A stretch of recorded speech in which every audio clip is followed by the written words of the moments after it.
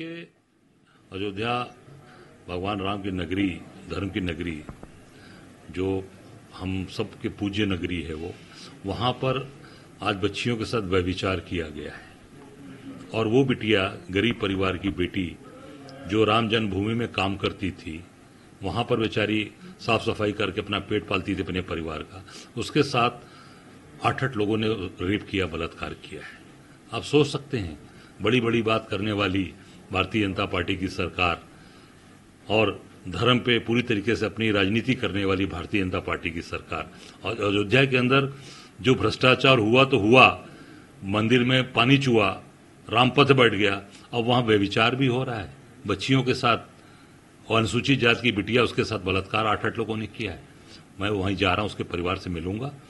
उनके परिवार के लोगों के साथ कांग्रेस पार्टी, राहुल गांधी, प्रियंका जी, हमारे नेता खड़गे जी, सब लोग उनके साथ खड़े हैं, उनके निर्देश पर मैं जा रहा हूँ। निश्चित तौर से उस बिटिया को न्याय दिलाने के लिए, उस परिवार को मजबूती प्रदान करने के लिए, पूरी कांग्रेस का एक एक कार्यकर्ता, हमारी महिला बहनें, हमारी पूरी महिला कांग्रेस और हम सब लोग जा रहे हैं।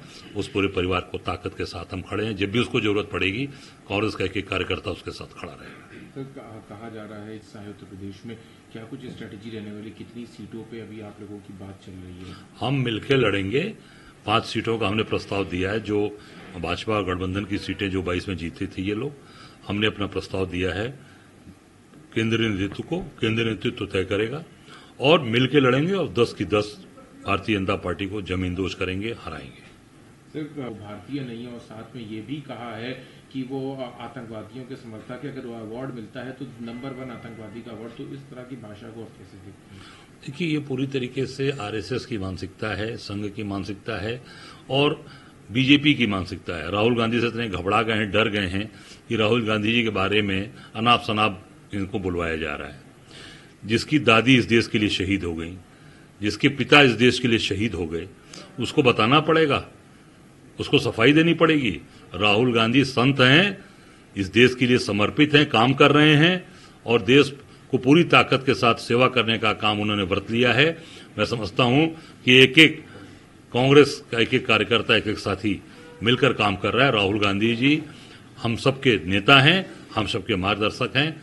निश्चित तौर से देश के एक एक लोगों का विश्वास, मोची का, नाई का, धोबी का, आम आदमी, जो गरीब आदमी है जो इस सरकार में सताया हुआ आदमी है, जिसको फर्जी इनकाउंटर कर रहे हैं, जिन जिन बच्चियों के साथ रेप कर रहे हैं, उनका परिवार, सबके व्यापारी समाज, सबका समर्थन राहुल गांधी के साथ है। राहुल गांधी इस देश के लिए, हम सब के लिए सौभाग्य है कि वो हमारे नेता हैं और इस देश के लिए वो निश्चित तौर से एक महापुरुष, एक संत के रूप में काम कर रहे हैं। अरविंद केजरीवाल ने कहा कि दूँगा दो दिन के बाद और जनता के बीच जाऊँगा इस अग्नि परीक्षा को लेके। अब जनता तय करेगी, क्योंकि अभी तक जो सीबीआई था या जिसने आरोप लगाया, वो चार्जशीट नहीं तो इसकी अब जनता के सामने अग्नि परीक्षा के लिए तैयार हुआ देखिए, मैं इतना ही कहना चाहूँगा, मुख्यमंत्री का पद बहुत ही महत्वपूर्ण पद होता है। किसी प्रदेश के लिए मुख्यमंत्री बहुत ही महत्वपूर्ण पद है। केजरीवाल जी को जनता की सेवा करना चाहिए, उनको जनता का जिस प्रकार से समर्थन मिला, प्यार मिला, उनको समर्थन करना साथ देना चाहिए और उनको सेवा करना चाहिए। बाकी इस्तीफा देना और इस्तीफा काम करना, ये उनका निर्णय है। मैं इस बारे में कुछ नहीं कह सकता। वो जनगणना होने की बात सामने आ रही है। हालाँकि इस पे अभी कहीं पे भी जाति जनगणना के किसी कॉलम पे चर्चा या कोई बात सामने नहीं आई है। देखिए, मैं इतना ही कहना चाहूँगा कि जो राहुल जी ने बात उठाई है, वो बात पूरे देश के कोने कोने में चली गई गाँव गाँव में चली गई। मैं उसी के तहत कल फिरोजाबाद में था। तेलिक समाज का कार्यक्रम हमारे सांसद राकेश राठौर जी ने रखा था। वहाँ पर भी ये बात उठी है। ये घर घर की बात आ गई है। अब जातिगत जनगणना इनको कराना ही पड़ेगा और ये इनकी मजबूरी हो गई है और संघ के लोग भी अब परेशान हो गए राष्ट्रीय स्वयं Sevak Sangh R S S परेशान हो गया है। अब इनको मजबूरी है इनकी कराना। काफ़ी सवाल है। एक राष्ट्र एक चुनाव में मोदी सरकार इसको लागू करेगी। देखिए ये केवल बड़ी बड़ी बात करने वाले लोग हैं। आप देख सकते हैं कि पूरे जो आज स्थिति चल रही है समाज के अंदर वो समाज आज बहुत ही परेशान है। महँगाई बेरोजगारी भ्रष्टाचार सबसे परेशान है। उस पर कोई भी व्यापारी समाज से लेकर जीएसटी से लेकर सब लोग परेशान है, उसको रियायत नहीं मिल रही है। ये केवल बड़ी बात बोल रहे हैं। जनता इससे छुटकारा चाहना चाहती है और ये एक वन नेशन वन इलेक्शन अभी आप देखिए, चार स्टेट का चुनाव एक साथ नहीं करा पाए। अभी आप देखते हरियाणा और जम्मू कश्मीर हो रहा है। महाराष्ट्र छत्तीसगढ़ का माहौल बना लेंगे, झारखंड का, तब वहाँ कराएँगे। सारे बाई इलेक्शन एक साथ होने चाहिए। सब स्टेट के हो गए यूपी बचा हुआ है, और स्टेट के काक बचे हैं शायद। तो वहाँ माहौल लग रहा है कि नहीं, खराब था तो उसको बाद में अपने अनुसार कराएँगे।